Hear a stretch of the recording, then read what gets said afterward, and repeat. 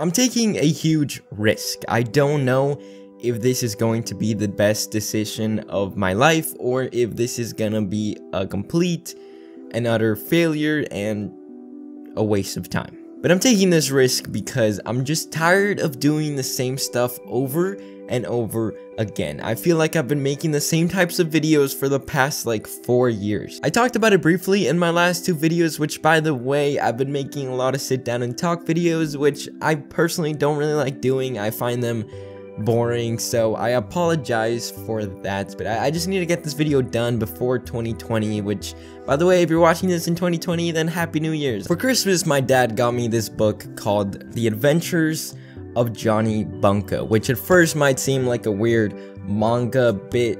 It actually has some really good advice which applies to the topic I'm going to be talking about today. Too many people spend their time avoiding mistakes. They're so concerned about being wrong, about messing up, that they never try anything, which means they never do anything. Their focus is avoiding failure, but that's actually a crummy way to achieve success. The most successful people make spectacular mistakes, huge honking screw-ups. Why? They're trying to do something big, but each time they make a mistake, they get a little better and move a little closer to excellence. And that's just a fact. So what is this possible mistake I'm going to be making? What is this huge risk I'm going to take? I'm moving my live streams to Twitch. I'm going to be putting a lot of my focus and effort into daily live streaming on twitch.tv. I'm going to try to live stream on Twitch for a hundred days in a row. Daily live streamings of around one, two, three hours long every day. Now, I've made similar promises in the past, like I'm gonna upload 100 videos in a row, and it, it, never goes well. But to make sure I do this, I'm going to be putting a financial kind of consequence in case I mess up. So every day that I miss a stream, if I miss a day, I'm going to be donating $10 to a charity of your guys' choice. So let's say I stream 90 out of the 100 days. I'm going to be donating $100 to a charity of your guys' choice. I'm just doing this so I have another reason, another motivation to really, really actually go through with this promise. So my first ever Twitch live stream is going to be January 1st, 2020 at around 4 p.m. Central Standard Time. So go follow me on Twitch, the link is down below, or set a reminder on your phone if you want to be there for the big day. I want to see as many of you guys as possible there. I also want to ask you guys what you want to see on that first ever stream. Do you guys want to watch me play customs, uh, Fortnite customs with, with you guys, which if you don't know is where all of you guys come in the same game, there's a custom code, and then you join, and then we play these challenge games, and then winner gets some points, which you can redeem for rewards, or do you want me to play Minecraft hardcore mode, where I just play Minecraft hardcore, and you guys kind of tell me what to do, and we just have some fun. So yeah, please answer the poll. I believe it's, it might, I, I still don't know which corner it is, the little eye.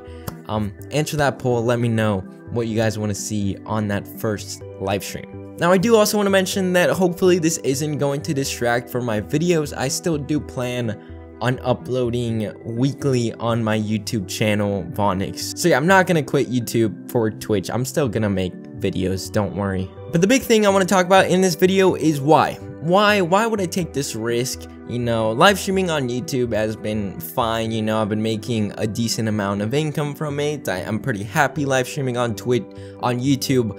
Why all of a sudden make this giant switch to a completely different platform? Three reasons. Number one, I want a new challenge. I I remember when I was first starting to grow on YouTube, I felt this drive to go from nothing to something. I wanted to go from zero subscribers to whatever. And I've kind of lost that drive. I've kind of lost that motivation to really push myself, which I'm working on revitalizing, but it's just not the same as it was when I when I was first starting to grow. So I want that new feeling again. I want to feel like I'm I'm creating something new. I, I want to feel that drive to go from zero followers to whatever amount of followers I can get to. Number two is I don't want to put all my eggs in one basket. I'm already starting to use Twitter and Instagram more, but I'm not very good in Instagram or Twitter. Please help me out. Follow me.